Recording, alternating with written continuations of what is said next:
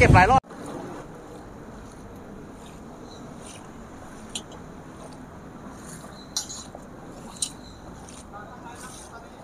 ผมมาดูเออหมู่บ้านนะว่าน้ำมันขังติดขัดตรงไหนเผื่อมีอะไรให้ช่วย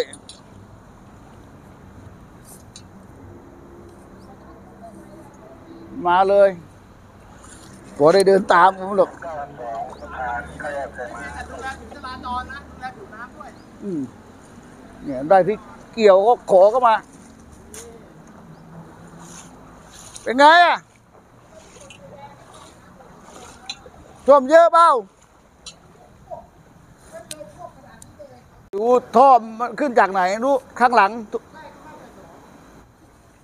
ข้ามไปด้านหลังนู่นใช่ปะจะมีคันเขื่อนอยู่ด้านหลังสวนทรายอะ เออ ซอยสี่ก็สิคือที่เขื่อนเรากั้นทรายไว้ อ่าใหญ่และสองคุณดูดน้ำจากถนนเข้ามาในหมู่บ้านเนี่ยท่อเนี่ยอย่างเงี้ยเป็นผ้าอย่างเงี้ยดูท่อคุณดูแลนะ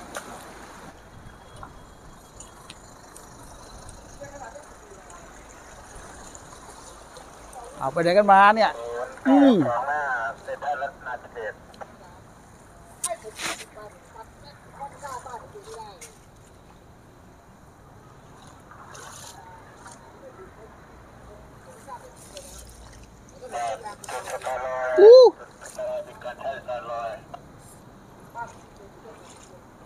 บ้านในพวกไหนดูไม่ได้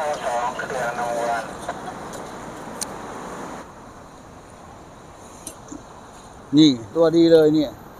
นี่